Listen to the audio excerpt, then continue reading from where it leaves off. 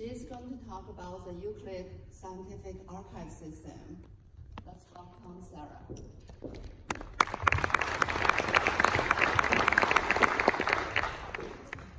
Good morning, everyone. Can you hear me? Yes. Um, I'm Sara. Um, I'm giving this talk on behalf of my colleagues from the ESAC Science Data Center and from the Euclid Science Operations Center. And I'm going to talk about the Euclid Science Archive System, but from a perspective of two years before the launch. So, first of all, um, let me start with the control. let me start with the uh, mission goals. Um, the goal of the mission is to have a better understanding of what the dark energy and dark uh, matter is, which is 95% of the universe, being only 5% the known universe, the visible universe. And to achieve this goal, Euclid is a survey, and Euclid is going to map one third of the sky with one optical camera and another camera and a spectrometer in the near infrared. The mission is going to take six years and it's going to uh, be launched in June 2022. Uh, from the point of view of the management, ESA is responsible for the mission, but ESA but contains a huge contribution for the Euclid uh, consortium, which is huge, with more than 1,000 members. And um, the Euclid uh, consortium contributes uh, with the payload and also with most of the components of the ground segment. Uh, from the point of view of the archive, um, how that the scientific archive fits into the overall of the science ground segment architecture is that it's a central piece, as you can imagine. So the scientific archive, uh, the Euclid archive, is um, a combined system, it's a joint effort between the Groningen University and ESAC, and where the uh, where ESAC is responsible for the scientific archive, and uh, Groningen University is responsible for the data processing, uh, or the metadata related to the data processing, and for the system that enables the distribution of the data across the different data centers. There is a specific talk of Rhys Williams tomorrow about all the details about the data processing and the distribution systems. But let's go uh, to the science. Regarding the Euclid science, uh, Euclid sits on top of uh, three main pillars regarding the data science, which are images, spectra, and catalogs. But it's not only that. Euclid will also provide a set of uh, high-level uh, products that we call LE3 that are basically uh, um, weak lensing data, um, shear maps, and um, other types of data, and we should adapt to this new science to provide the best tools available. And how do we achieve this? So we will achieve this starting um, from the knowledge that we already share, that we have coming from the different missions. So let me uh, mention one of the uh, most representative regarding the different areas, where we have uh, the Gaia regarding the catalogs, we have uh, ESA regarding the management of images and the scientific discovery in that respect, and also other tools uh, like the visualization of spectra, um, uh, like for instance the one already integrated in, in uh, Newton. So there has been already mentioned for other speakers already the challenge of uh, big data. And uh, this is what Euclid supports for our data centers in terms of uh, data volume. So we will store for Euclid 10 petabytes of data. So um, this is going to stress our capabilities in terms of uh, storage and in terms of give access to this data. But going deeper into what that means, uh, we will have three different releases. The first one will happen two years after the launch, and it will contain uh, the three different type of data, images, spectra, and catalogs, which is something important to say. And um, the next one will happen between two and three years after, uh, between one and the other. But uh, we will not only provide this kind of data, as I said, we will only provide, we also provide uh, external data that is going to be a huge amount of data. And uh, this includes uh, surveys like the kilodegree survey, uh, like the dark energy survey, LSST data, PanSTARRS, and so on. So it's a huge data. So the final release of uh, Euclid is uh, 10 petabytes of data, including all that information. So that's the uh, simplified, sorry, because I think the uh, recorded time. So, uh, that's the simplification, let's say, of the architecture of the, of the archive with the basic blocks. So we have an entry point, which is a web portal, and then we have a VO-compliant layer, or a set of protocols to enable interoperability, and to give access to the different kinds of data that the Euclid Archive will provide. Some uh, of these protocols are already important, some already have already been mentioned, like the table access protocol to give access to a big catalog that will be of uh, 10 billion uh, objects, and uh, other discovery protocols for images, for spectra, and also uh, to discover different service, different services to give access to specific images, for instance, or for spectra and other uh, backend operations like SODA, and VOSpace to access petascale infrastructure of data. And for sure, the ingestion layer to feed the system. So, but let's go to the meat. Um, this is a screenshot of uh, how the visualization of maps of Euclid looks like at the moment. So the importance of this uh, of this screenshot is that uh, what we have already, what we are seeing here is simulated data coming from the consortium. So we are already integrated within the Euclid consortium, and uh, we are not a legacy piece anymore. And we give access to the simulated data that the Euclid Consortium is providing together with uh, giving the uh, members of the consortium the possibility to test our interfaces early in advance. This is an example of uh, external, uh, in this case the test uh, survey, external uh, simulated data. This is a HIPS maps that we have created and give the possibility to the users to explore the map.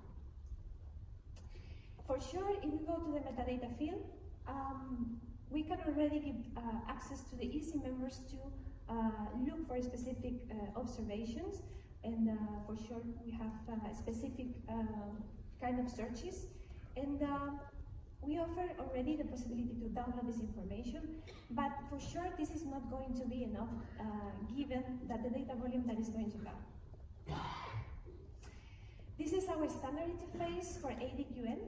So here we give all the freedoms to the users to make any type of queries they want, not only for the catalogs, but also for the uh, already relational model that we have, and uh, give access to a specific kind of operations uh, for each specific results coming from the TAP, which are these ones. Um, another important one that we recently added in our previous release of uh, uh, in June 2000, uh, in June this year, was um, the possibility to overlay the TAP results on top of the specific uh, maps. And um, uh, the next, for the next releases, we will provide uh, specific uh, access to metadata coming from this, coming from the sources, and to make it interactive.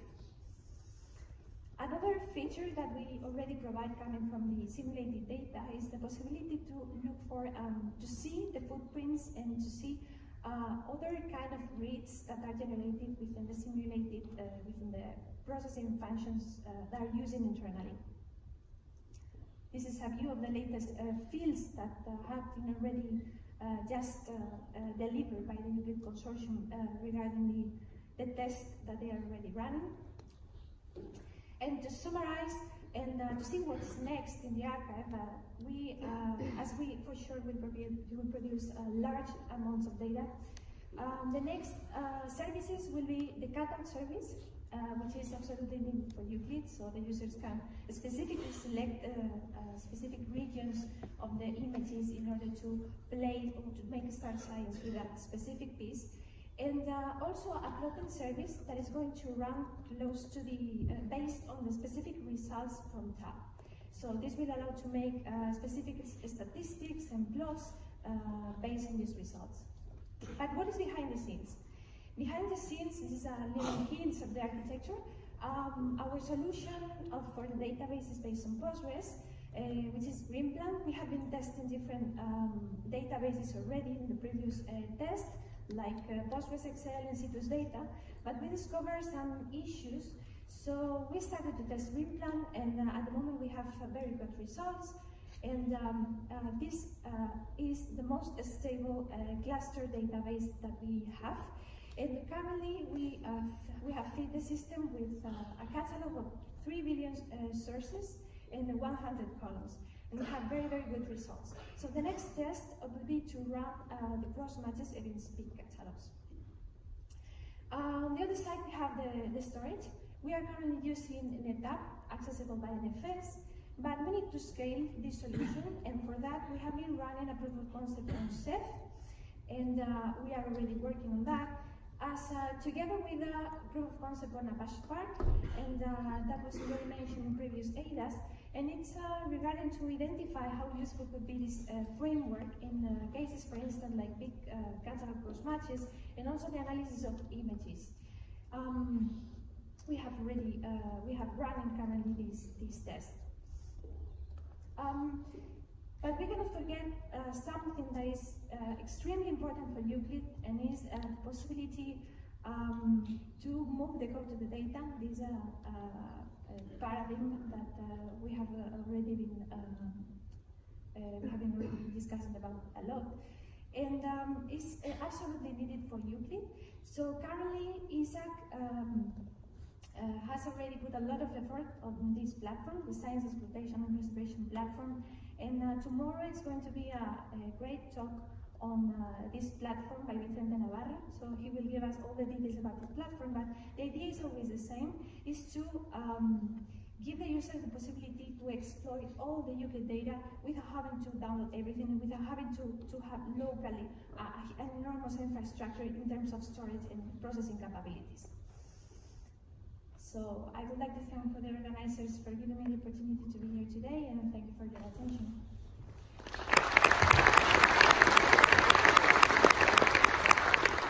Questions?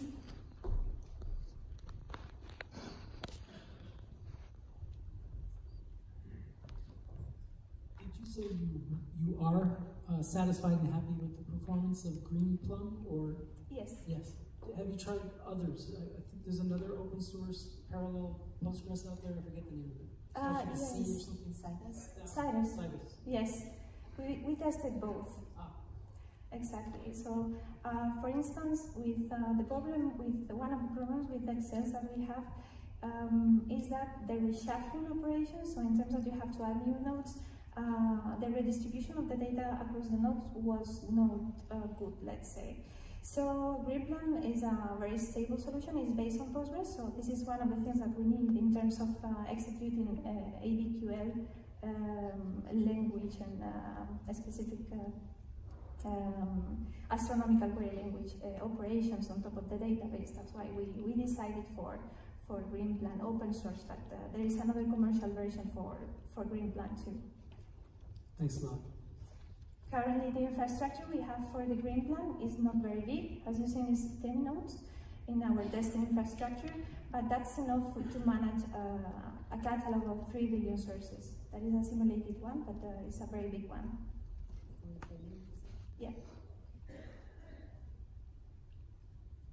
So does, regarding the moving code to the data, does ESAC plan to have significant computational infrastructure in which users can run their own like modified versions of the Euclid pipeline on the data, or are you just talking about storing the high-level data products and manipulating those?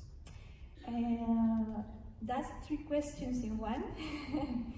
um, first of all, yes, uh, you, um, ESAC is planning to have a specific platform to exploit um, the data, I mean, to, to give the users all the infrastructure and to make it available uh, to process the data. But um, regarding um, if um, we are going to, we plan to uh, give access to the user to run specific pipeline versions on the data, that's not, uh, let's say, decided yet from the point of view of the, of the Euclid mission. And um, uh, from the point of view of uh, what are the data that is coming out from the data releases, let's say, um, I have explained uh, more or less which are the main uh, data that is going to be published, but it's still open from the point of view of the uh, scientific, of the science part of the consortium, which is currently selecting at a fine-grained basis what are the, the products that are going to be that are going to be available. But for sure, the advanced products produced by what we call the A3, uh, which are the shear measurements and all that stuff that I mentioned, yes, they are going to be there. I don't know how. The computational infrastructure? Sorry, sir? On high performance computing at ESAC, is there going to be significant high performance computing? I prefer um, tomorrow, the Vicente Navarro is going to talk about a bit longer on that, so I don't want to make him any spoiler. so he will he will tell us all the detail about this uh, this platform infrastructure that I already show uh, a bit of the building blocks, but okay, he will explain tomorrow. Okay, let's thank our speaker again.